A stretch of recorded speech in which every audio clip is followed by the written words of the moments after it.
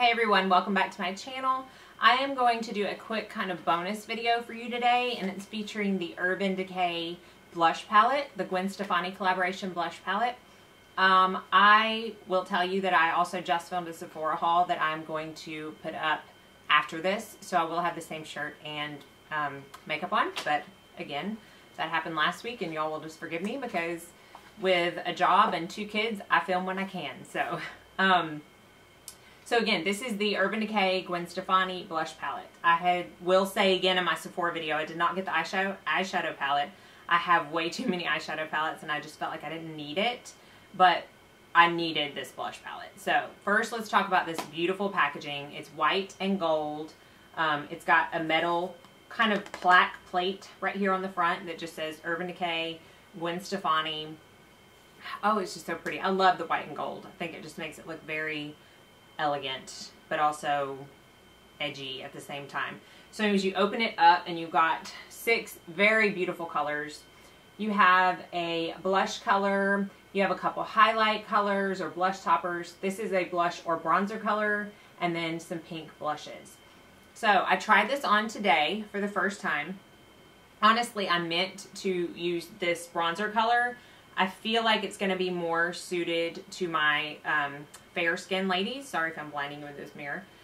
Because it's not as dark um, as you would probably want it to if you have anywhere from like light to medium to medium to dark skin. Definitely would not work on dark skin, but it might be a pretty blush. So I'm going to go through and just really quickly, because I haven't seen any, many videos exclusively for this palette, and I wanted to get it up before it sold out, because it is limited edition.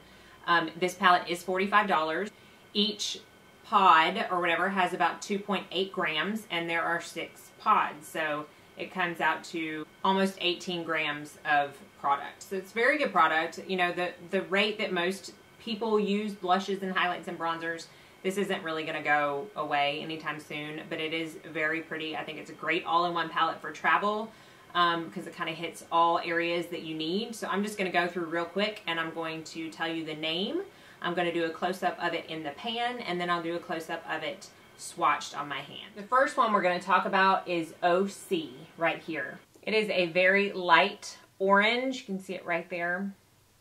Orangey coral blush. It is matte. It does not have any shimmer. This is actually what I have on my cheeks today. So again, it's just a very light wash of color. Right next to OC, we have the color Hush. This is a beautiful shimmery rose gold color. If you can see how it's catching the light, it is absolutely gorgeous. I cannot wait to wear that on my cheeks. That is my kind of blush right there. Right next to Hush, you have Lo-Fi or Lo-Fi. I want to say Lo-Fi. Color that could be used as a bronzer or a matte blush depending on your skin tone. See, it has a nice, it's not too orange, has a nice, um, just kind of neutral undertone. Again, it would be a very pretty blush or bronzer depending on your skin tone. This is a matte color. Coming down to the pink blushes, this one is called Cherry. It is a baby pink color. It is mostly matte. It picks up a little bit of shimmer, but it definitely has no sparkle in it in the pan. It just gives off a nice sheen. So again, this color is Cherry. Then we go next to Cherry, and this color is Easy.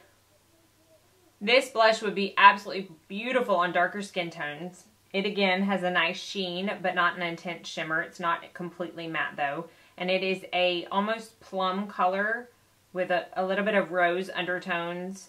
It's absolutely beautiful. And again, it would be very pretty on light to medium skin tones with a light hand and a normal to heavy hand on darker skin tones. It would be absolutely beautiful.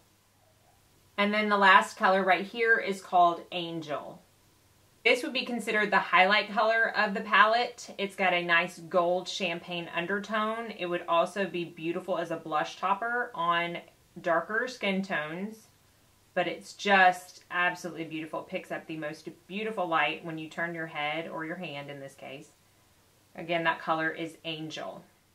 So that wraps up all the swatches of this beautiful blush palette. This retails for $45. I highly recommend this palette. Again, today I have on um, OC as a blush, and then I have on Angel as a highlight. And I will say I did not put any liquid highlight down like I normally do because I just wanted to see the effect of it.